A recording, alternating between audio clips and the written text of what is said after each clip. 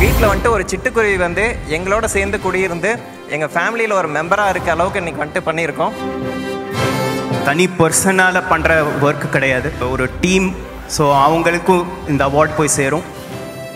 எல்லாரும் அவார்டு வாங்கிட்டு பேசும்போது ஐயோ நம்ம என்ன பேச போறோம்? பயமாவே இருந்துச்சு. அவார்டு வாங்குறதுக்கு வந்து பயமா இருந்துச்சு. ஆனா நம்ம சாதிக்கணும் அப்படின்றதுக்கு வந்து எனக்கு பயம் இல்லை. புதிய தலைமுறையின் தமிழன் விருதுகள் சனி மற்றும் ஞாயிறு இரவு எட்டு மணிக்கு.